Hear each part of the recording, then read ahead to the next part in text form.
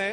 नई दिल्ली निजामुद्दीन और अपना आनंद विहार। छठ पर्व पर ऐसा पहली बार इंतज़ाम देखा है कि एडिशनल टेंट लगा करके मोदी सरकार ने यात्रियों के लिए सुविधा दी है। भोजन दे रही है चाय दे रही है आरपीएफ गोदी में ले जा रही है। मैं मैं खुद कहाँ पे? आनंद विहार अरे भाई तुम जाते नहीं आनंद विहार स्टेशन बेकार में सवाल पूछ देते हो? प्रतीक जी मैं नहीं कह हाँ, रहा। हाँ। पूरा अखबार जो छप रहे हैं मैं खुद मैं गया। हाँ। मेरे रिश्तेदार को मैं छोड़ने गया। आरपीएफ के जवान ने बुज़ुर्ग महिला को गोदी उठा करके डिब्बे में बिठाया। अरे भाई आनंद बिहार रेलवे स्टेशन जाओ ना वहाँ से बिहार की सब ट्रेनें चलती हैं। अब बेकार में हमारा हमारा प्रोग्राम में भी तुम्हें तो बिहार को देने को हाँ हाँ मैं मैं आया मैं आया मैं आया ये बिल्कुल सत्य है कि नरेंद्र मोदी जी बहुत ही अच्छा काम कर रहे हैं। मैं मैं मैं मैं आ रहा मैं आ रहा मैं नौजवान आज अभी टॉप जो ग्रुप है टॉप मैनेजमेंट है या टॉप जो लीडर है चाहे नरेंद्र मोदी जी हो चाहे राजनाथ सिंह जी हो या किसी ने भी इस तरह का कोई मुद्दा नहीं उठाया है। चाहे वो राम ताजमहल का मुद्दा हो या फिर टीपू सुल्तान का मुद्दा हो कोई किसी बड़े नेता ने नहीं हमेशा कंडेम किया है इस मुद्दे को। जहाँ तक छोटे मोटे नेता ये इस मुद्दे को उठाते हैं हवा देने की कोशिश करते हैं। है संगीत सोम बहुत बड़े नेता है और वो हमेशा को संगीत सोम की बातों को आदित्यनाथ ने तुरंत ठुकरा दिया था। आदित्यनाथ जा भी रहे हैं ताजमहल घूमने के लिए। 26 नवंबर को जा भी रहे हैं ताजमहल। मेरा कहना है जहाँ तक नौकरी की बात है ऐसा नहीं है कि बीजेपी आते ही नौकरी खत्म हो गई है। नरेंद्र मोदी गवर्नमेंट ने जो भी स्टेप लिए हैं जीएसटी का या नोटबंदी का ये हमारे फ्यूचर के लिए लिया है जो कि बहुत ही अच्छा स्टेप है। लेकिन लेकिन लेकिन मैं आया मैं आया मैं आया मैं आया मैं आया। मैं आया लेकिन मैं ये बोलना चाहूँगा ऐसा नहीं है कि पंद्रह दिनों में रोज़गार इनको नहीं मिल रहा है। अभी भी जो क्वालिटी है जिनके पास जिनके पास टैलेंट है उनको नौकरी की कमी नहीं है। जी जो अपने आप अपने आप में जो क्वालिटी मेंटेन करेंगे उनको नौकरी मिलेगी। ना क्वालिटी नहीं मेंटेन करेंगे उनको उनको नौकरी कहाँ से मिलेगी। दूसरी बात है अगर हम इतिहास अगर हम इतिहास नहीं इतिहास को नहीं जानेंगे सच्चाई को नहीं जानेंगे अच्छा अच्छा अच्छा नाम बताओ अपना। एक मिनट एक मिनट भाई भाई भाई एक मिनट एक मिनट मेरी भी बात सुन ले यार। क्या नाम तुम्हारा? राजीव नाम है मेरा। अच्छा चुनावी भाषण हो रहे थे। सुनो सुनो। एक एक मिनट ना ना ना मेरी बात इतिहास नहीं जानेंगे अगर इतिहास को गलत तरह गलत तरीके से प्रोजेक्ट किया गया। अगर कोई आया कोई आया हमारे माँ बहन बहनों की बलात्कार किया सात साल आठ आठ साल के बच्ची का बलात्कार किया और उसके नाम से आप आलिशान स्मारक खड़ा करते हो और कहते हो कि हमारा यही हमारा यही हमारा ये है। आप जब आप आप सिंध में गजनी आया सिंध में। सिंध ने सिंध में पच्चीस किसी भी कालखंड में किसी भी कालखंड में किसी भी आक्रांता के द्वारा अगर इतिहास से छेड़छाड़ हुआ हो तो उसको उसका नाम अरे चेंज होना चाहिए। ये मैं आपसे ये कह रहा था मैं ये आपसे कह रहा था जब भाषण दे रहे थे दो करोड़ का वादा कर रहे थे तब ये बात कही थी कि क्वालिटी वाली बात करेंगे क्वांटिटी वाली बात नहीं करेंगे ये कही थी बात? अरे भाई मैं ज़्यादा बोलता बोल गया ज़्यादा क्या? नहीं नहीं नहीं नहीं, मैं आ रहा मैं आ रहा हूँ मैं आ रहा हूँ। आज जनता जनता से पूछूँगा आज जनता से पूछूँगा ज़रूर पूछूँगा मैं आ रहा हूँ बाबूजी आपके पास आऊँगा। जी जी। जी जी जी जी मैं आया मैं आया हाँ। सर आज तक इतिहास किसी को पता ही नहीं अगर अकबर महान हो सकता है तो सब कुछ हो सकता है। क्या नाम है तुम्हारा यार? कमलेश खंडेलवाल। रमेश खंडेलवाल तुम्हें कहना है कि मतलब जितने भी राजा महाराजा हुए सब राजा महाराजा हुए अब आपको जनतंत्र का मज़ा लेना चाहिए। आज तक सर इतिहास सही लिखा ही नहीं गया। कहाँ क्या है हमें भी नहीं पता। आज कोई किस, किसी बुक्स में जाते हैं किसी चीज़ के लिए कुछ होता है किसी चीज़ के लिए कुछ होता है। आ, देखो भाई एक मिनट एक मिनट एक मिनट। ना ना ना। ऐसे नहीं ऐसे नहीं। बहुत आराम से तसर साहब क्या सवाल है क्या बात है क्या कहना चाहते हैं? मेरा सवाल यह है सर कि तीन तलाक पर जो व्हाट्सअप और मोबाइल के थ्रू जो लोग तलाक दे रहे हैं ये दे, ये औरतों के साथ अपराध कर रहे हैं। जबकि जनाब रसूलुल्लाह सल्लल्लाहु अलैहि वसल्लम का ये फरमान है कि वैसे आज बात टीपू सुल्तान पर थी लेकिन आप तो कम से कम ज़मीन पे पैर हैं आपके। मुझसे ज़्यादा बेहतर हैं आप। जी जी। कम से कम आप ऐसा एक कोई मुद्दा ढूंढ लाए हैं जो जिसके पैर ज़मीन पर हैं। मेरा तो ऊपर आसमान पे उठका हुआ मुद्दा है। बहरहाल मैं बहस इसी पे करूँगा लेकिन आपकी बात मैं सिर माथे। जी। जी। मैं औरतों के साथ रहूँगा। ये मामला कोर्ट में गया है। कोर्ट का मैं सैल्यूट करता हूँ और इस सरकार को भी सैल्यूट करता हूँ कि अभी तीन तलाक पे बैंड लगा है और अल्लाह के रसूल का ये फरमान है कि एक महीना में एक तलाक और तीन महीना में तीन तलाक होता है। औरतों के साथ अगर इंसाफ बेइंसाफी हो रहा है उनको जेल होना चाहिए। क्या बात है जनाब कहाँ के रहने वाले हैं आप? मैं पश्चिमी चंपारण बिहार के रहने वाला क्या बात क्या नाम बताया आपने? मेरा नाम खुर्शीद आलम है खुर्शीद आलम साहब। निश्चित तौर से। No doubt no doubt Khurshid Alam साहब के लिए क्लैप होना चाहिए। और ये जिस तरह की इन्होंने बात रखी है साफ़ गोई के साथ बहुत कम सारे लोग कम मर्द होते हैं जो ऐसी बात रख पाते हैं। इंसाफ रखना चाहिए सर। हाँ। और उसके साथ हलाला जो रखे हैं हाँ। ये बिल्कुल हराम है। तीन तलाक तीन तलाक तीन महीने के बाद और तीन बार होने के बाद हलाल जायज़ है हलाला जायज़ शुक्रिया साहब शुक्रिया। ये आपका मुद्दा। ये जो इन्होंने मुद्दा रखा लेकिन मुट्ठी का मुद्दा मैंने बता दिया। बेसब्रे इंसान है कि हमें तीन साल में तसल्ली नहीं है। तसल्ली तो रखो थोड़े साल थोड़े टाइम के लिए। ज़रूर सुधार आएगा। सुधार के लिए ही सब कदम उठाए गए। अगर हम चाहे कि आज दूसरी स्टेट दूसरी गवर्नमेंट ले आए और फिर तीन साल बाद यही यही नतीजे होंगे आपस में फिर अपोजिशन तो हमको सब्र रखना चाहिए तसल्ली रखनी चाहिए तीन साल हुए। जी मैं आपके जो हमारे मेहमान मौजूद हैं मैं उनसे आपका तारुफ कराना चाहूँगा। राज का जो मुद्दा है उससे आपको रूबरू कराना चाहूँगा। हमारे साथ नवीन कुमार जी मौजूद हैं बीजेपी का पक्ष रखने के लिए विजय शंकर तिवारी जी विश्व हिंदू परिषद का पक्ष रखने के लिए मौजूद है। आलोक शर्मा जी कांग्रेस का पक्ष रखने के लिए मौजूद है हमारे साथ। मौलाना अतहर हुसैन मौजूद हैं चेयरमैन अंजुमन मिनहास। ए रसूल बहुत बहुत शुक्रिया जनाब हमारे साथ मौजूद हैं। सैयद यासिर जिलानी साहब जो कि कुछ देर बाद आएँगे लेकिन हमारे साथ लियाकत खान साहब मौजूद हैं सामाजिक कार्यकर्ता। बहुत बहुत शुक्रिया। इधर से कोई बोलना चाह रहा था कि मैं बाद में आऊँ? जी। एक एक एक एक बात कर रहा हूँ उसके बाद में आता हूँ। जी। जी। नौकरी की बात कर रहे हैं। हाँ। सबसे पहली बात देश के अंदर दो बच्चों का कानून बनना चाहिए कि हर बंदे को दो बच्चे हो। बिल्कुल, बिल्कुल। दस बच्चे होंगे तो नौकरी कहाँ से आएगी? सबसे हम मुद्दा है दस बच्चे होंगे नौकरी कहाँ से आएगी? हर हिंदू मुस्लिम सिख ईसाई दो बच्चे होना चाहिए। हम टैक्स- सब टैक्स हम सब टैक्स कम करने की बात करते हैं लेकिन हम कभी ये इस बात ये बात नहीं करते हैं कि हमारा दो बच्चे कम हो। जिनके जिन हमारे देश के ठेकेदार को एक भी नहीं उनके कहाँ से आएँगे? उनका विकास नहीं होगा। उनके बच्चे अगर दो बच्चे एक मिनट सुनिए भैया। एक मिनट मेरी बात सुनिए। बच्चे वाली टैक्स भरते मेरा बात सुनिए। दो बच्चे वाला टैक्स भरते हैं। दो बच्चे वाला टैक्स भरते हैं। और दस दस बच्चे वाला आरक्षण लेते हैं। दस बच्चे वाला उसके सब्सिडी लेते हैं। मेरे कहने मतलब ये है अगर ये बोले कि दो बच्चे हैं जो हमारे देश के ठेकेदार लोग हैं उनके एक भी नहीं है वो उनका देश का विकास कौन करेगा? भैया जी कहीं हो गया आज खत्म। आज भैया जी कहीं खत्म यहीं से। आज जनता बहुत बोल ली। आज नेता लोग कह रहे हैं कि दो बच्चे तक बात आ गई इसकी ना जाने आज की आगे कहाँ चली जाए। आलोक जी परेशान मत होइए मैं मुद्दे पे ही लौटता हूँ। और टीपू सुल्तान का जो मुद्दा है कि क्या टीपू सुल्तान को बर्बर हत्यारा बताने वाले की नज़र चुनाव पर है, ये सवाल था। और मैं सबसे पहले सबसे पहले अतर हुसैन जी आपको खड़ा करना चाहता हूँ कि ये आखिर जिसने कहा कि ये इतिहास की राजनीति क्यों करते हैं लोग? देखिए, इतिहास कभी भी किसी के लिए सच्चा नहीं होता। हर व्यक्ति अपने एतबार से इतिहास लिखता और इतिहास रचा। मेरे नज़दीक टीपू सुल्तान न हिंदू न मुसलमान। मेरा कहना है, दो महान व्यक्तियों के तौर पे टीपू सुल्तान को अगर देखेंगे पहला नाम है जगतगुरु शंकराचार्य स्वामी, यानी जो शंघेरी के शंकराचार्य हैं। मैं खुद साक्षात शंघेरी गया, मुझको ये सब हासिल है। शंघेरी मठ के अंदर जो दस्तावेजात रखे हुए हैं, जिसकी कापी आपको इंडिया आर्काइव में मिल जाएगी, और वो तस्वीर मिल जाएगी जहाँ वो शंघेरी शंकराचार्य के पैरों में बैठ के वो ज़मीन दे रहे हैं। दूसरा, टीपू सुल्तान की राजधानी का नाम श्रीरंगापट्टनम था, जो भगवान विष्णु के नाम पर श्रीरंगम था। उनके महल के परिसर के अंदर रंगनाथन मंदिर था। उनके ध्वज के ऊपर चाँद तारा नहीं था, सूर्यवंशी राजाओं का निशान, यानी सूर्य था। उसकी जो बैठक थी, उस पर मोर नहीं था, ऊँट नहीं था, बल्कि वहाँ साथ दुर्गा की सवारी शेर था। उसके अलावा दूसरा नाम है, उस महान व्यक्ति का नाम, जिसका नाम है एपीजे अबुल कलाम एपीजे अबुल कलाम जो लोग आज टीपू सुल्तान को गाली बक रहे हैं, उनको चाहिए पहले एपीजे अबुल कलाम की किताब द विंग ऑफ़ फायर को आग लगा दें। क्योंकि विंग ऑफ़ फायर के प्रीफेस में लिखा है कि जिस व्यक्ति ने मुझको भारत में मिसाइल टेक्नोलॉजी बनाने के लिए प्रेरित किया और नासा में जाके जहाँ मैंने देखा वो टीपू सुल्तान था। इसलिए मेरा कहना यह है अगर आप इतिहास में जाएँगे सुन लीजिए पहले सुन लीजिए। पहले अगर इतिहास में जाएँगे इस यहीं पे चौरासी के दंगे भी हुए हैं। अगर इतिहास में जाएँगे यहाँ 2002 के भी दंगे हुए हैं। लेकिन इतिहास को जो हमेशा रोते हैं वो कभी वर्तमान में तरक्की नहीं कर पाते। उन्होंने जो करा करने दीजिए। हम क्या कर सकते हैं ये सोच के बताइए। जी। बहुत खूब बहुत खूब। जो हम क्या कर सकते हैं बताइए। आपके मंत्री क्यों विरोध कर रहे हैं? वो कहते हैं टीपू सुल्तान हत्यारा था। वो कहते हैं टीपू सुल्तान रेपिस्ट था। वो कहते हैं उसने तमिलों को मारा, इसलिए वो नेशनलिस्ट नहीं हो सकता। टीपू सुल्तान आतताई था बलात्कारी अत्याचारी दुराचारी था इसमें कोई शक नहीं है ये किताबों में लिखा है इतिहासों में लिखा है। फायर को आग लगा दीजिए एपीजे अबुल कलाम की किताब को आग लगाइए अरे जिस व्यक्ति को इंस्पायर करने वाला टीपू सुल्तान हो जिस एपीजे अबुल कलाम की आप इज़्ज़त कर रहे हैं और वही एपीजे अबुल कलाम कह रहा है कि मुझको प्रेरित करने वाला टीपू सुल्तान आग लगा दीजिए उस किताब को।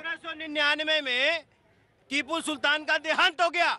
और वो एपीजे अब्दुल कलाम साहब को प्रेरित कर रहे थे। अरे तो अरे आप मेरे सुन लीजिए आप। जिस अरे हम अरे आप सच बोल रहे ना? अरे सच बोल रहे तो सुनो ना। अरे तो मेरी सुनो जो उस किताबों में लिखा हुआ है। आपकी किताबों में साफ़ साफ़ लिखा है अगर वो शंकराचार्य के पास तब गया जब उसने हिंदुओं को मार मार के शमशान घाट का इल्ज़ाम लगाया। अगर विंग ऑफ़ फायर में एपीजे अब्दुल कलाम ने नहीं लिखा या तो ये पद से इस्तीफा दे देंगे या ये मुझको सरेआम जो सजा देंगे मैं ले लूँगा। विंग ऑफ़ फायर में लिखा है। तो छह में अठारह सौ छह में जो लिखा इतिहास में उसमें साफ़ साफ़ लिखा गया कि टीपू सुल्तान ने किस प्रकार से देश उस समय अत्याचार किया हिंदुओं को पाँच हज़ार लोगों को पेड़ से लटका के मार दिया गया। उसके अलावा मैं आपको बताता हूँ रीजन क्या था। इन्होंने कहा शंकराचार्य के पास गए। शंकराचार्य के पास तब गया जब मुसलमानों के मौलवियों ने धर्माचार्य ने उसको बताया कि तुमने इतने मंदिरों को तोड़ दिया इतने लोगों को मार दिया।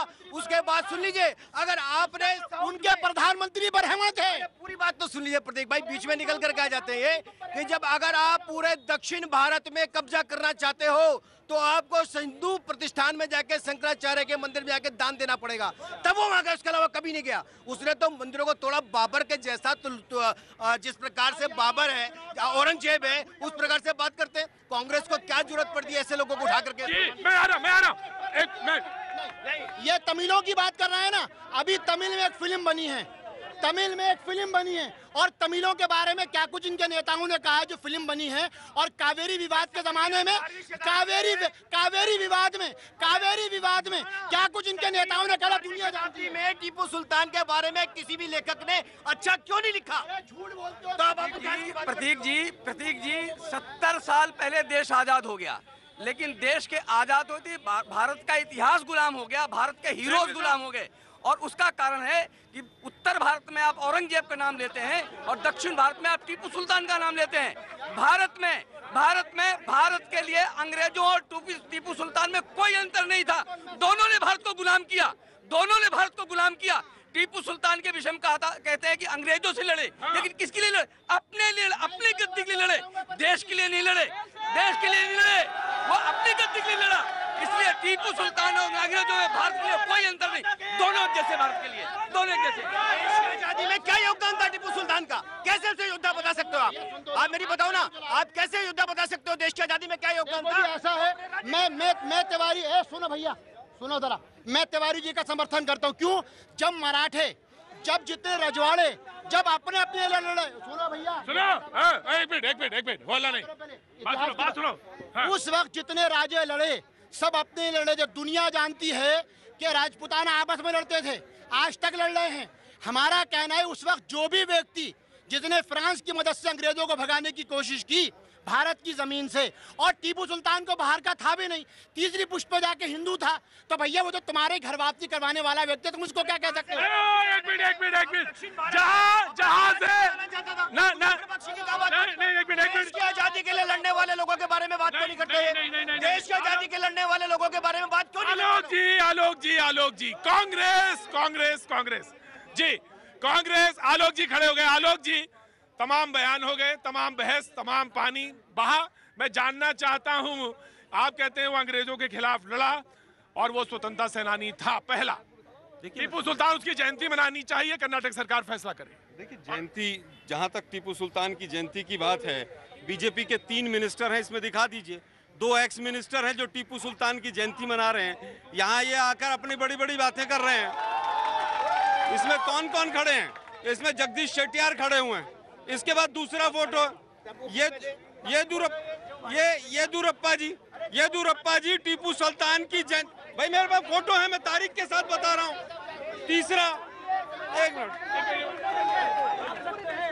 ये तीसरा फ़ोटो है। इस फ़ोटो में एक आरएसएस का बहुत बड़ा आदमी, जो वर्तमान में भी एमपी है और पहले मंत्री था, वो टीपू सुल्तान के द्वारा जो पंचलिंग मंदिर बनाया गया उस मंदिर के बाहर खड़ा होकर फ़ोटो खिंचवा रहा है। टीपू सुल्तान का कह रहे मंदिर बनाया गया टीपू सुल्तान ने। मुझे समझ नहीं आता कांग्रेस को। ये ये नीति कहाँ से आई? उन्नीस में इंदिरा गांधी जाके मखमल की चादर चढ़ाती है वहाँ पर। अरे तुम मुस्लिम वोटों के लिए क्या करना चाहते हो? अरे देश के आज़ादी करने में लड़ने वाले भगत सिंह राजगुरु सुखदेव और स्वाकुल्ला खां के बारे में क्यों नहीं बोलते?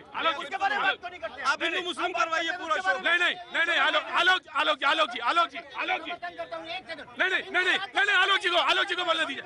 पूरी बात आलोक आलोक जी को बात होनी पूरी बहस में आने दीजिए। बात बात स्टैब्लिश है। देखिए वो नवीन जी जो फैक्ट देखिए फैक्ट लेके आए हैं कोई फैक्ट है। फैक्ट है ना फैक्ट है। हैं। देखिए मैं समझता हूँ। मैं समझता हूँ प्रतीक जी आप बीजेपी के बहाव में मत बहिए। इस शो को हिंदू मुसलमान मत करवाइए।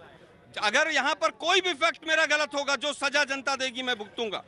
यहाँ पर जो मंदिर है, इस मंदिर के ऊपर जो कन्नड़ में लिखा है, मैं वो भी पढ़ देता हूँ। उसमें लिखा पंचलिंग स्वामी ना सनदी टीपू।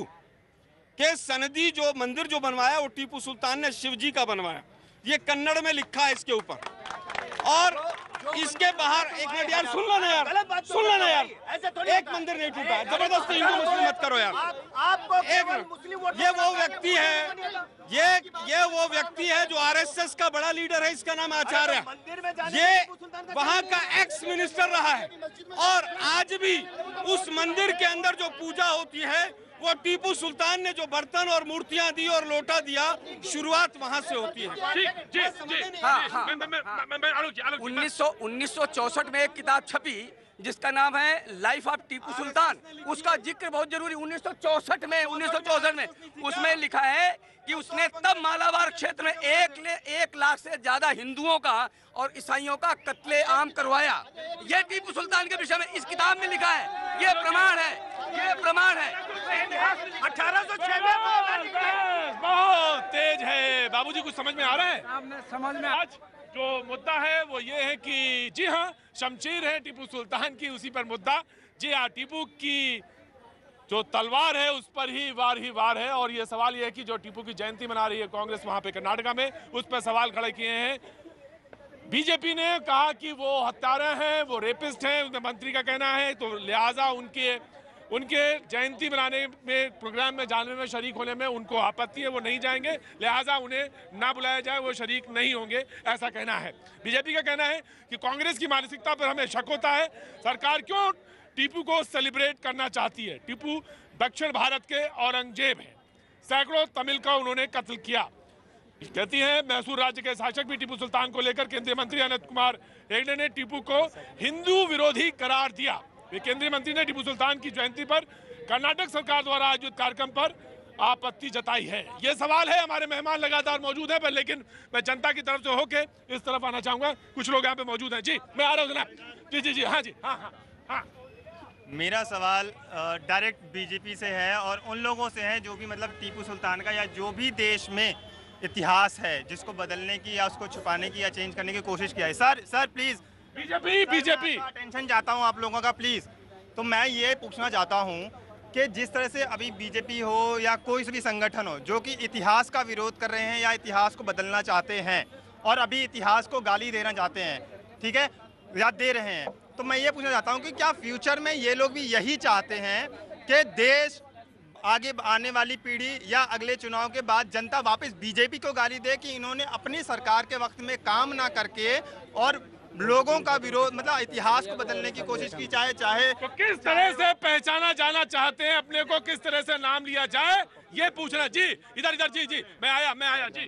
जनाब। अगले इलेक्शन में कांग्रेस ज़ीरो पे आ जाएगी ज़ीरो पे। मोदी जी हैं देश है नहीं तो कुछ भी नहीं है। बस मोदी जी है देश है। पर मैं मुद्दा नहीं उठा रहा हूँ मैं वो जो लिखा है वो पढ़ रहा हूँ। और पढ़ता हूँ कि टीपू सुल्तान ने सईद अब्दुल दुलाई और जमान खान के नाम से एक पत्र लिखा। उसमें लिखा कि पैगंबर मोहम्मद और अल्लाह के करम से कालीकट के सभी हिंदुओं को मुसलमान बना दिया है। केवल कोचीन स्टेट के सीमावर्ती इलाकों कुछ लोगों का धर्म परिवर्तन अभी नहीं कराया जा सका। मैं जल्दी इसमें भी कामयाबी हासिल करूँगा। अब इस प्रकार का जिसने काम किया हो, उसको महिमा मंडित करना, ये इतिहास का अपमान है। मुझे लगता है कि टीपू सुल्तान को महिमा मंडित करके इतिहास का अपमान किया गया है। उसको यहाँ पर जैसे औरंगज़ेब आप Babar road Shahjahan road Aurangzeb road यानी भारत में यही महान पुरुष रहे हैं। यानी भारत को आज़ादी दिलाने से लेकर और मुगलों से आप आप बदल लीजिए आपकी सरकार है बदलवा लीजिए। अरे वही तो कर रहे हैं। इसी का विरोध हो रहा है। विरोध तो इसी का हो रहा है। इसलिए छोटी सी छोटी सी टिप्पणी। हूँ, हमारा हूँ। कहना ये इतिहास में जो कुछ हुआ हमारे बीजेपी के प्रवक्ता भी कह रहे थे कि कांग्रेस को भगत सिंह याद नहीं आए। मैं इनको याद दिला दूँ जब भी केंद्र में और सारे संगठनों ने इनसे मिलकर कहा कि जो पंजाब का एक हमारा जो एयरपोर्ट होता है चंडीगढ़ एयरपोर्ट का नाम जो है सर्वसम्मति सब दलों ने कहा कि पंजाब में चंडीगढ़ एयरपोर्ट का नाम सरदार भगत सिंह के नाम पे कर दिया जाए। उस मौके पे ये अकेली सरकार थी जिन्होंने भगत सिंह के नाम का विरोध करके संघ के कोई पुराने व्यक्ति थे उनके नाम पे रखना चाहते ये तो उनकी देशभक्ति है ये भगत सिंह से इनका प्यार है। जी जी जी बिल्कुल जवाब जवाब मैं जाऊँगा मैं लूँगा ज़रूर। जी जी आलोक जी मैं आ रहा। जी जनाब अली देखिए जनाब। लियाकत भाई बोलना चाहते हैं उसके बाद आलोक जी। सबकी होली है ना? सबकी होली है। इनका पहले तो मैं उनका टीपू सुल्तान का आपको जो व्यक्तिगत उन पे आ, वो आरोप भी लगा रहे हैं। तो मैं बता देता हूँ हिस्ट्री से बिल्कुल कि वो हाफिज कुरान थे कंटस तो उनको कुरान याद थी और वो पाँचों टाइम नमाज़ पढ़ते थे पाबंदी से। ये तो उनका व्यक्ति अब एक बात बताओ जी जो हाफिज हो कुरान का जो पाँचों टाइम की नमाज़ पढ़ता हो वो आदमी कोई गलत काम करेगा? चार बार उसने अंग्रेज़ों को हराया है। पांचवी बार जब वो हरा रहा था तो मराठाओं ने और निज़ाम हैदराबाद ने एन वक्त पर उसको धोखा दिया। इसलिए वो हारा। वरना अठारह सत्रह में ही, सत्रह में ही हिंदुस्तान आज़ाद हो जाता। जो ये कह रहे हैं अपने लिए लड़ रहे थे। अरे अंग्रेज़ तो भाग जाते यहाँ से। अंग्रेज़ों को तो वो खदेड़ देता यहाँ से। देश के रजवाड़े बटे हुए थे, चलो अलग बात है। लेकिन अंग्रेज़ यहाँ से निकाल देते। अगर निज़ाम हैदराबाद और मराठा उसको एंड वक्त पर धोखा ना दें तो वो आज़ादी हमको नब्बे बरस पहले मिल गई होती। और आगे की सुन लो अरबी फारसी का विद्वान था। और और जो वो जो है ना जी फ़र्स्ट देखिए मैंने एपिक चैनल पे देखा है। मैंने आपने देखा प्रतीक जी एपिक चैनल पे वन वन सिक्स वन है। वन सिक्स वन है हाँ, टाटा आगे, स्काई आगे, आगे। अब उसमें मैंने देखा है मैंने उसमें देखा सुनो उसमें मैंने देखा है कि फ़र्स्ट जो है रॉकेट मैन यानी मिसाइल मैन वर्ल्ड का टीपू सुल्तान है। नहीं नहीं सुनो सुनो एक मिनट एक मिनट सुनो। उनकी उनकी जो है लेबोरेटरी जब उसको ले गए उसके टेक्निक को वो अंग्रेज़ों ने लेबोरेटरी में टीपू सुल्तान का फ़ोटो लगा रखा है। इससे ही मिजाइल बना। जो बात कर रहे हैं ना दहलवी साहब ने करी दहलवी साहब ने करी। ये टीपू सुल्तान की देन है जिससे आप और हम बात कर रहे हैं। ये रॉकेट बना तो मिजाइल बना। रॉकेट रॉकेट पितामह है मिसाइल जी, का हाँ, वो सलाम करते हैं अंग्रेज़। सुबह टीपू सुल्तान की तस्वीर को अपनी साइंस मैं मैं सीधा सवाल आपका मतलब कुल मिला के बात ये है। कुल मिला के बात ये है। टीपू सुल्तान हाँ कुल मिला के बात ये है कि बीजेपी वाले गलत विरोध कर रहे हैं यही तो कहना चाह रहे हैं आप। हाँ गलत विरोध कर रहे हैं बिल्कुल। खत्म हो गई बात। बिल्कुल गलत विरोध खत्म कर हो रहे गई हैं। बात बस यही है। ऐसा जी ऐसे कर करके नहीं है। पच्चीस करोड़ मुसलमानों को गंवा रहे हैं। इनका प्रशासन देखो मैं पहली बार से कह रहा हूँ प्रशासन ईमानदार है। पहली पहलों के मुकाबले में मैं किसी का नाम मोदी जी मोदी जी ईमानदार है। बिल्कुल ईमानदार है। बिल्कुल ईमानदार है। जहाँ तक हाँ। देखो प्रशासनिक तौर से ईमानदार है। गलत कौन है? ये कट्टरपना कर रहे हैं जो। जी जी तो रखिए तशरीफ़ रखिए। देश का पच्चीस करोड़। हाँ, और सब हाँ। सबसे ज़्यादा कुर्बानी मुसलमानों ने दी है। बिल्कुल इसमें कोई शक नहीं कम नहीं। इसमें कोई शक नहीं हमको इसमें कोई शक नहीं। आपको सर्टिफिकेट दिखाने लेके चलें। मौलाना मौलाना आपको सर्टिफिकेट बार बार देने की ज़रूरत नहीं है इस मुल्क में। बैठिए तशरीफ़ रखिए। तो सर्टिफिकेट की ज़रूरत नहीं है। आलोक जी। जी प्रतीक भाई दिक्कत यह है की जो लोग अंग्रेज़ों से लड़े। हमारा गुजरात में ही होगा। बिल्कुल आप ही नहीं दो नहीं पाँच बोलना है आज आपको और जवाब पूरा पानी पी के दीजिएगा। पानी आप पीजिए पहले और पहले पहले पानी पीजिए। पहले पानी पीजिए पानी पिलाइए। नहीं ना पहले पानी पीजिए। पानी पानी पानी नहीं नहीं पानी पहले पीजिए विश्व हिंदू परिषद को जवाब पूरा पानी पी के दीजिए। देश को अब तक पा, पानी पिलाया है। देखो क्या है कि देश की गरीबी हटाना है तो टीपू सुल्तान को महान बता करके और अकबर को महान बता करके ये गरीबी दूर कर रहे थे क्या अब तक? अभी अभी बत्तीस करोड़ जिस समय देश आज़ाद हुआ बत्तीस करोड़ लोग थे। आज पचास करोड़ लोग गरीबी रेखा के नीचे जी रहे हैं। ये ये ये अकबर को महान बता करके ये गरीबी दूर की इन्होंने। इतिहास एक मिनट आलोक जी। आ, आ, इतिहास इतिहास इतिहास उसको कभी नहीं माफ़ करता है जो इतिहास के साथ खिलवाड़ करता है। सत्तर साल तक इतिहास के साथ आपने खिलवाड़ किया। देश के हीरोज जो थे उनको आप अपन अपमानित किया उनको नेपथ्य में डाल दिया। और जिन्होंने देश की गुलामी के लिए जो करता धरता थे उनको आगे करके महान बता दिया आपने। ये इतिहास के साथ आपने गद्दारी की है। इसका इसकी माफ़ी तो आपको मांगनी नहीं पड़ेगी। आज नहीं कल माफ़ नहीं। इतिहास कभी आपको माफ़ नहीं करेगा। बीजेपी बीजेपी के नेता कह रहे हैं कि सोनिया सोनिया जी राहुल जी माफ़ी मांगे। सोनिया जी राहुल जी माफ़ी मांगे बीजेपी के नेता ने कहा है। क्योंकि क्योंकि टीपू सुल्तान हत्यारा आप देश को तीन लाख करोड़ रुपया देश का लूट करके ले गए आप लोग। आप तीन लाख करोड़ रुपया देश का घोटाला करके चले गए। इस सरकार ने कोई घोटाला नहीं किया। ये सरकार कांग्रेस सदा लूटती रही। तीन लाख करोड़ लूट के ले गई अरे तो आप छोड़ो ना आप हम बता रहे हैं। जब आप जब देश का भला करने लगे तब आपको कष्ट होने लगा। आप डेवलपमेंट की बात नहीं करेंगे। आप सदा जो है देश को बांटने की बात करें। अरे एक पागल का विकास नहीं हुआ विकास पागल नहीं हुआ। एक पागल का विकास नहीं हुआ है। ऐसा मेरी इन सबके सामने एक बात कहनी है और आप सबको पूरी ज़िम्मेदारी और सच्चाई से एक बात बता दूँ। इस देश का आप स्वभाव देखिए कि परम पूज्य स्वामी यानी आदि जिसको कहते हैं आप तो महंत है महंत आदित्यनाथ महाराज जो इस वक्त यूपी के मुख्यमंत्री भी हैं उनके जो मठ की जगह है ये भारत की शान देखिए। भारत की आन देखिए भैया जी। ये भारत की आन शान जिस मठ के वो मठाधीश हैं वो। गोरखनाथ मठ की जगह दी हुई किसकी है? नवाब आसिफुद्दौला की। हमारा कहना है भारत को भारत रहने दो। जिसको न दे मौला उसको दे आसिफुद्दौला क्यों आप करना चाहते हैं? अरे भारत को भारत रहने दो। जिस दिन भारत को दाएँ बाएँ करोगे झगड़े पैदा हो जाएँगे। जी जी लेकिन इतिहास इतिहास जी जी मौलाना मैं मैं आ रहा हूँ मैं आ रहा हूँ मैं आ रहा हूँ मैं आ रहा हूँ। मराठा जब अब युद्ध हारे एक मराठाओं का टीपू सुल्तान का युद्ध हुआ है उसमें मराठा हारे थे। जब वो भाग रहे थे एक मंदिर को तोड़ गए ताकि टीपू सुल्तान बदनामी हो ताकि टीपू सुल्तान की बदनामी हो। टीपू सुल्तान ने वो मंदिर बनवाया है जी। उसने उसकी रिपेयर कराई है टीपू सुल्तान ने। टीपू सुल्तान कैसे हथियारा और कैसे कैसे गंदा कैसे हो गया? जी जी। हिस्टोरिकल फैक्ट में? प्रतीक भाई मैं आपके चैनल के माध्यम से ये पूछना चाहता हूँ कि बीजेपी के पास और आरएसएस के पास और कोई मुद्दा नहीं है? जब देखो हिंदू मुसलमान हिंदू मुसलमान। वैसे ये ये जो जो पत्रकार है ना और ये जो ये जो बहस करवाते हैं ना ये भी कम जिम्मेदार नहीं है। हम लोग भी कम जिम्मेदार नहीं है। बात है। आप हम लोग को भी दिया करो गाली। गरीब आदमी को तो कोई देखते नहीं है। हाँ। रोजी रोटी के बारे में कोई इनको ख्याल नहीं बदल दो ये मुद्दा। नहीं ये ये हिंदू मुसलमान का मुद्दा नहीं होना यहाँ पे ही इसी बहस में ही। जनाब आपका नाम क्या है? नाम क्या क्या? मोहम्मद असलम मोहम्मद असलम। मोहम्मद हसन साहब इसी में- इसी इसी डिबेट में ये मानता है कि ये मुद्दा अभी तुरंत बदला जा सकता है।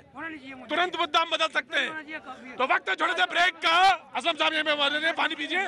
वक्त में हार नज़र आ रही है। हालाँकि चुनाव अभी तारीख नहीं आई है। मेरी भी नज़र वही है गुजरात पर। कांग्रेस ने तो तय कर लिया कि इनको सीटें मिल गई डेढ़ सौ। है गुजरात में इनका क्या होने वाला है नज़र आने वाला है। ये सबको मालूम है गुजरात में क्या होने वाला है। लेकिन उसके बाद उसके बाद फिर भी बता दूँ मैं ये मुद्दा किसने उठाया? ये ये कांग्रेस ने उठाया ना। हमने तो यही कहा कि भाई नहीं कहा कि हम नहीं जाएँगे ये मुद्दा इसलिए आप उठा हमने कहा नहीं जाएँगे तो आपने बनाया क्यों भाई? आप देश की आज़ादी से जुड़े हुए लोगों के बारे में कोई बात नहीं ना जाते हर साल होता है कार्यक्रम आप कहते थे नहीं जाएँगे। अब आप जाते ही ना भाई एक बात बताइए। जब अभी इतिहास की बात कर रहे थे 1806 में भाजपा या आरएसएस तो नहीं थी ना 1806 में? 1925 में आई आरएसएस। मैं 1806 में कह रहा हूँ 1806 में बुकलोन ने एक किताब लिखी है 1806 में प्रकाशित हुई है। टीपू सुल्तान ने जहाँ जहाँ शासन किया, उसके क्षेत्रों में जाकर के उसने अपनी किताब में जो लिखा है, उसे लिखा है क्रूर, दुराचारी, दमनकारी और अविश्वासी नेता था। तो भैया, ये हमने लिखा क्या? आप उसकी बात क्यों कर रहे हो? हमने तो नहीं कहा ना। आप देश की आज़ादी में जिन लोगों ने योगदान दिए योगदान दिया, उनकी बात क्यों नहीं करते? अगर आपने देश की आज़ादी के स्वतंत्रता सेनानियों की बात करनी है। अगर आपने विकास की बात करनी तो विकास की बात करो। हम सब तो विकास की बात करना चाहते हैं कि इस देश में विकास कितना नहीं तो हुआ। या तो एक काम करो आप विकास की बात तो करेंगे एक लिस्ट जारी कर दो आप। हम उन्हीं उन्हीं पे बात करें बाकी ना बात करें। आप आप विकास पे करो हमने कब का इस पे बात नहीं करो? नहीं हम करें जो जिसपे जो स्वतंत्रता सेनानी है जो नहीं है उन्हें एक लिस्ट जारी करो। हम उसी पे बात करेंगे इसके अलावा बात नहीं करेंगे। देश में आज़ादी की लड़ाई जिन्होंने लड़ी उसकी बात करो ना साहब। अगर ये बात करना चाहते हैं इन्होंने देश की आज़ादी की लड़ाई कब लड़ी? मैं कह रहा हूँ तिवारी जी भी बोल मैं संक्षेप में दो बातें कहना चाहता हूँ। इतिहास की खूबी ये है कि इतिहास लिखा नहीं जाता अपने आप बनता है। और मैं पूरे गर्व के साथ कह रहा हूँ कि भैया जी आपके असल नाम को कोई नहीं जानता। भैया जी कहीं ये भी अपने आप में एक इतिहास बन गया है। हमारा कहना ये लाहौर श्री राम के पुत्रों के नाम पे था लेकिन लाहौर का नाम आज तक कोई नहीं बदल सका। रामपुर का नवाब हमेशा मुसलमान रहा लेकिन रामपुर का नाम नहीं बदला गया। श्रीनगर मुस्लिम बहुल है लेकिन आज भी विष्णु के नाम पर उसका नाम श्रीनगर है। श्रीरंगापट्टनम कल भी था और आज भी है। हमारा कहना है शासकों के कर्मों से जनता को मत बांटो। शासक जो करेगा ये जनता हमेशा जानती है। आप अच्छा करके दिखाओ ताकि कल हम आपको गाली ना बकें हेलो देखिए तिवारी जी बहुत अच्छी बात कही है इन्होंने। बहुत अच्छी बात कही है। हाँ। शासक का इतिहास मैंने अपनी बात पे मैं वही खड़ा हूँ कि शासक का जो इतिहास है वो बिल्कुल प्रामाणिक जाना चाहिए। मैं इतिहास के पन्नों से history of Mysore C S Rao ने लिखा है। एक सौ तिहत्तर पेज में लिखा है कि अपनी तलवार पर टीपू सुल्तान लिखाया ए ये काफिरों को समाप्त कर देना चाहिए। काफिरों को समाप्त कर दो। और वहीं पर एक शिलालेख का वर्णन है। एक एक हज़ार चौहत्तर में वही भाषा है, वही भाषा है कि काफिरों को समाप्त कर देना चाहिए। जिस शासक की ये मूड ये है कि यहाँ काफिरों को समाप्त कर देना चाहिए हिंदुओं को समाप्त कर देना उसका महिमा मंडल क्यों करना? दिल्ली साहब ने कहा- मंडल महिमा मंडन किया? इन्होंने कहा हिस्टोरिकल फैक्ट पे बात करी। मैं सी एस राव की किताब का वर्णन कर रहा हूँ। आप- आप ही और ने मैं- कहा, और-। मैं- प्रश्न की बात कर रहा हूँ। एक हज़ार तिहत्तर एक हज़ार चौहत्तर उनकी तलवार में और शिलालेख में काफिरों को समाप्त करने आ, आप आप एक हज़ार तिहत्तर और एक हज़ार चौहत्तर देख लीजिए मैं तो सीधे सीधे हैं? तो दावे के साथ कहता हूँ। सी एस राव तो- उसको पढ़िए जाकर। नहीं इन्होंने कहा कि श्रीनगर का नाम श्रीनगर नहीं बदला गया लेकिन आपने कहा कि शाहजहां शाहजहां रोड को बदल दीजिए औरंगज़ेब रोड बदल दीजिए बाबर रोड बदल दीजिए। आपने कहा इन्होंने तो नहीं कहा। बिल्कुल देश में देश में दे, दे, देश को जिसने गुलाम किया तो उन गुलाम करने वालों के नाम बदलने ही पड़ेंगे। बाबर कौन से इस देश का शासक था? फलस्तीन में एक जगह है फलस्तीन में रामल्ला उसका नाम रामल्ला ही है। राम नहीं बदला गया। जहाँ के जमाने में विकास दर 25.5 थी विकास दर शाहजहां के जमाने में 25.5 थी। और औरंगज़ेब के जमाने में 24.4 थी। ये ये जो है ना एक बात बताओ ये बेकार की बातें उठा उठा के ये जो है ना भ्रष्टाचारियों को सरकार देंगे दोबारा से। फिर सरकार आएँगी ना जो वो भ्रष्टाचारों की आएँगी। प्रशासनिक तौर से सरकार ईमानदार है। मैं बार बार इस बात को कहता हूँ सरकार। हाँ मौजूदा तौर सरकार प्रशासनिक तौर से ईमानदार है। लेकिन ऐसे लोग ऐसे लोग जो है ना ये मुद्दों को भटका के इनका सेंटर का मिनिस्टर ऐसी बात करता है तो ये समझ लो सब करते हैं। खुद ये इन चीज़ों पर बैन लाएँ इन चीज़ों को रोकें और विकास की और उसकी देश की तरक्की की बात करें और 125 करोड़ जनता को मुँह से ना कह के प्रैक्टिकल तौर पर माने। वो कर रहे हैं प्रतिभा वो कर रहे हैं और सभा से और ईमानदारी से काम सरकार कर रही है। आज देश में इस सरकार ने कोई भ्रष्टाचार नहीं किया। इससे पहले कांग्रेस से बार बार पूछता हूँ तीन लाख करोड़ का भ्रष्टाचार करके भाग गए आप। आप उसकी जनता कौन देगी? उसका जवाब कौन देगा? आप विकास की बात करते हो विकास में आपने किया नहीं। बार बार कहते हैं विकास पागल हो गए इनके नेता कहते हैं। हकीकत यह है कि इनके जो पागल नेता हैं, उनका विकास नहीं हुआ। आप देश की बात तो कर नहीं रहे हो। आप जो है आगे की बात कर रहे हो। आज इस देश का हर नागरिक अगर उम्मीद लगा के बैठा है तो नरेंद्र मोदी से उम्मीद लगा के बैठा है इसके अलावा किसी से उम्मीद लगा करके नहीं बैठा। क्योंकि इसलिए क्योंकि देश में वो काम कर रहा है। और देश के देश के लिए सरकारें काम कर रही है इसीलिए उसके साथ है। इसमें कोई शक नहीं जी। मैं फिर कह रहा हूँ कि कैबिनेट ईमानदार है। जब ईमानदार नहीं रहेगी जब हम आलोचना भी करेंगे। जब ईमानदार है तो आलोचना क्यों करें? जी! मैं आ गया मैं आ गया मैं आ गया मैं आ गया। जी जी नौजवान। मैं बोल रहा हूँ जो बीजेपी वाले हैं ये कैसा विकास देना चाहते हैं? पहले जो बोले विकास में जिसमें हर रात को रोज़गार मिले हर नौजवान में खुशहाली मिले ऐसी रोज विकास होता है भाई। तो वो विकास दे रहे हैं एक लाख करोड़ का जो मेट्रो तैयार कर रहे हैं। उसमें बारह हज़ार राजधानी एक्सप्रेस बनेगा। ठीक है? आज के डेट में जाकर देखिए ट्रेन के अंदर कितना धक्का धुक्की हो रहा है आदमी कितना परेशानी से आ रहा है। छठ छठ पूजा के लिए बड़ा दिक्कत हो रहा होगा। तो हर चीज़ में दिक्कत हो रहा है हमेशा आने जाने में दिक्कत छठ पूजा तो बिहार जा ही नहीं पा रहे होंगे ट्रेन में बड़ा ज़बरदस्त माहौल है। बहुत बहुत जाने का बहुत दिक्कत हो रहा है। बीजेपी अपने आप को साफ़ छवि बोलती है मैं पूछता हूँ एक मिनट सर। बोलती है जो कांग्रेस था कांग्रेस ने अगर लूटा है देश को देश को लूटा घोटाला हुआ है तो उसको अंदर क्यों नहीं करते आप? अंदर क्यों नहीं करते? अंदर क्यों नहीं करते? जी जनाब। मैं हितेश शर्मा दिल्ली से हूँ। और भी दिल्ली के तीन बड़े स्टेशन है नई दिल्ली निजामुद्दीन और अपना आनंद विहार। छठ पर्व पर ऐसा पहली बार इंतज़ाम देखा है कि एडिशनल टेंट लगा करके मोदी सरकार ने यात्रियों के लिए सुविधा दी है। भोजन दे रही है चाय दे रही है आरपीएफ गोदी में ले जा रही है। मैं मैं खुद कहाँ पे? आनंद विहार में अरे आनंद भाई तुम जाते नहीं आनंद विहार स्टेशन और बेकार में सवाल पूछ देते हो। प्रतीक जी मैं नहीं कह रहा। पूरा अखबार जो छप रहे हैं मैं खुद मैं गया। मेरे रिश्तेदार को मैं छोड़ने गया। आरपीएफ के जवान ने बुज़ुर्ग महिला को गोदी उठा करके डिब्बे में बिठाया। अरे भाई आनंद बिहार रेलवे स्टेशन जाओ ना वहाँ से बिहार की सब ट्रेनें चलती है। अब बेकार में हमारा हमारा प्रोग्राम में भी तुम्हें तो बिहार को देने को हाँ हाँ मैं मैं आया मैं आया मैं आया ये बिल्कुल सत्य है कि नरेंद्र मोदी जी बहुत ही अच्छा काम कर रहे हैं। मैं मैं आ रहा हूँ मैं आ मैं नौजवान आज अभी